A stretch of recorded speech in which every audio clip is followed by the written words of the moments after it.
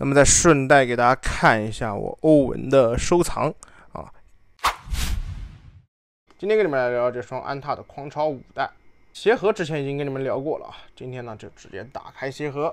我之前已经买过狂潮五的首发配色了。之所以在买这个配色的原因呢，相信很多人跟我一样，就是因为欧文上脚了这双狂潮五代，并且呢它上脚的那个颜色啊和这个配色非常相近。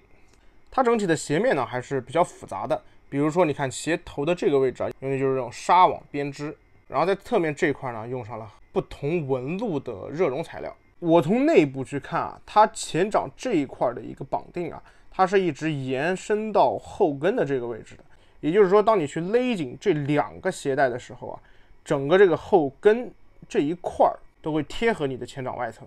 然后到了中足这里啊，它依然采用了这种纱网的材料。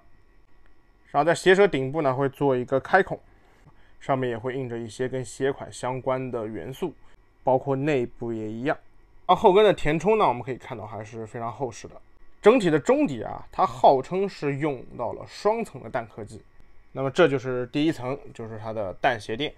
那么这个呢，就是它的第二层，就是它的氮中底。那么我们可以看到侧面呢，会有非常大面积的 TPU 去作为稳定。那么作为中底的支撑呢，它会采用一个方形的碳板，它差不多只包裹在中足这一块，啊，就是我们可视的这个区域，剩余的会有一块近乎于全掌的 TPU 去作为支撑，啊，然后整体的外底呢，依旧是这种不规则的橡胶底，啊，接下来给大家带来这双狂潮五代的上脚，如果你从这个角度看，它和凯瑞 Low 的第五代还是有些相像的。首先这双鞋呢，它上脚之后，你可以感受到它。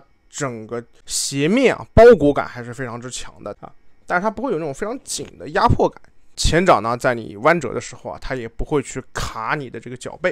然后整体中底呢，它前掌的这个弹材料是偏薄的啊，它其实可以找到一些和欧文系列的共通点，就比如说它前掌的场地感很好。然后我们也可以看到，其实，然后我们可以看到它其实内侧啊，这里是有一些弧度的。对于欧文这种喜欢大幅度去变向的球员，也是比较符合他的球风啊。但是啊，对于我个人来说啊，我觉得这双鞋让我唯一不太满意的点就是它这个全掌 TPU 和它这个碳板的搭配。我觉得你完全可以省点 TPU，你直接用一个贯穿于前掌的碳板。啊，像我个人是比较喜欢像预帅十三、十四，我是比较喜欢这种全掌超临界发泡，然后再内嵌一个碳板的这种配置的。因为本身这个超临界材料很软嘛，然后再配合一个这种刚性比较强的碳板，就是当你在蹬地的那一瞬间啊，它不论是在材质上，还是在这个碳板回弹的时候，都可以给你一个非常好的推进力。安踏签约欧文之后啊，我目前能看到的就是欧文在场上。